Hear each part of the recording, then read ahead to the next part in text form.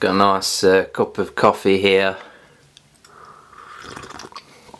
Um, yeah, so I've just got up. It's actually 1 pm, um, but the reason why I've just got up is because I haven't been able to sleep all week. Um, not due to excitement for Christmas because I'm not five, um, but for other reasons. And um, yeah, so yesterday when I picked up World League Basketball for the Super Nintendo, I said that there'd be uh, three more pickups before um, Christmas, and there's actually two now because one of the places I ordered a game from said that the game did not pass their kind of quality control in their kind of words, something like that.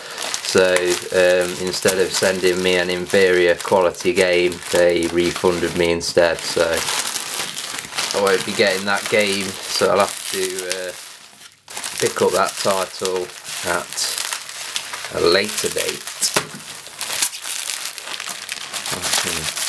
get into this one. Got a lot of bubble wrap on here. Gosh.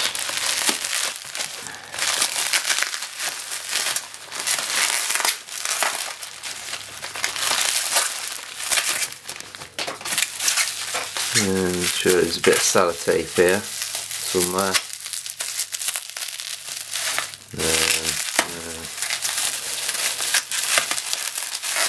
certainly well bubble wrapped. Oh, I'll just rip it open.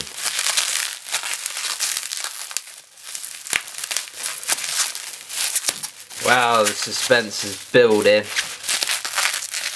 What the hell is this? How is this stuck like this?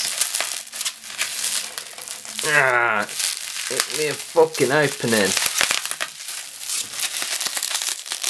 Sorry about this, it's kind of hard with um, one hand I should really have got the tripod out but I didn't expect it to be this hard.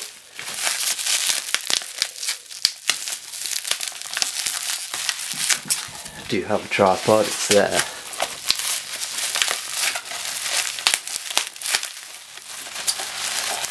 Do ignore the shit TV, it's uh, it's on the floor because it's shit.